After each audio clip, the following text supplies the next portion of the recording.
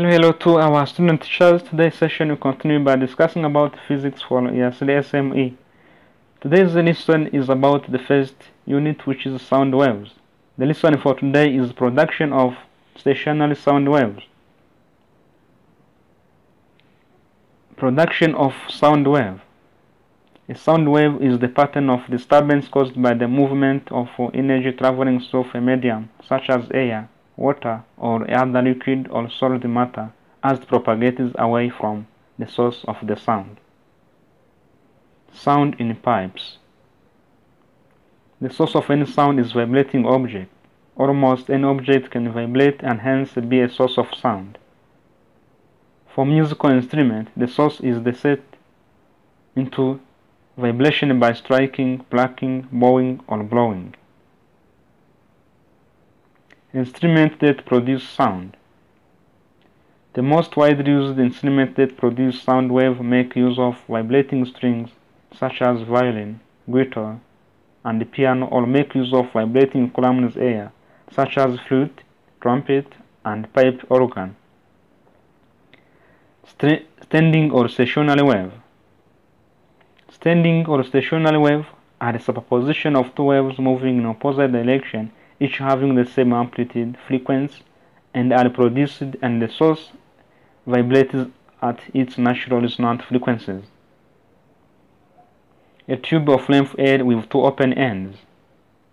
A tube of length L with two open ends It's a tube which has antinode at its open end, where node is taken as closed end.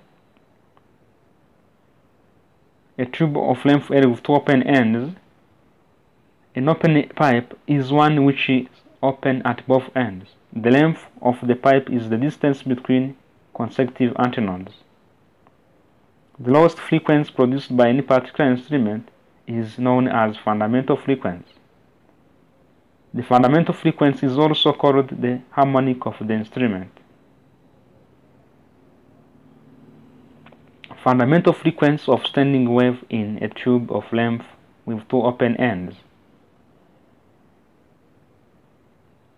This is what we call fundamental frequency. As we said, fundamental frequency, it is the lowest frequency for a tube which is opened at both ends, We will have antinode and antinode for open ends. This is what we call fundamental frequency for a tube which is open at both ends or is known as first harmonic. For first harmonic or fundamental frequency, the length of a tube in terms of wavelength equals to the wavelength of a tube. It means that if the tube for fundamental frequency is doubled, its length must be equal to the wavelength. Harmonics and overtones for open pipe. Fundamental frequency, it is the lowest frequency of the tube for open pipe, where the wavelength equals to 2L and frequency equals to velocity over 2L. This is the first overtone or the second harmonic. This is the third harmonic or the second overtone. This is the third overtone or fourth harmonic. For first overtone, length of the tube equal to the wavelength and frequency equal to V over L. For second overtone, wavelength equal to, to L over 3.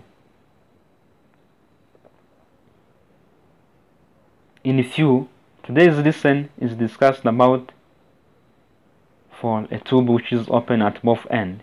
We know that the fundamental frequency is also the first harmonic, where the length of the tube equal to the wavelength over 2. For first overtone or second harmonic, the length equal to the wavelength, or the frequency f2 equal to, to f1. For third harmonic or second overtone, f3 equals to 3f1 or and L equals to 3 wavelength over over 2.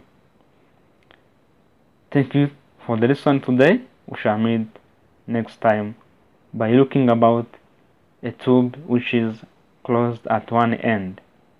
Thank you for watching. See you next time.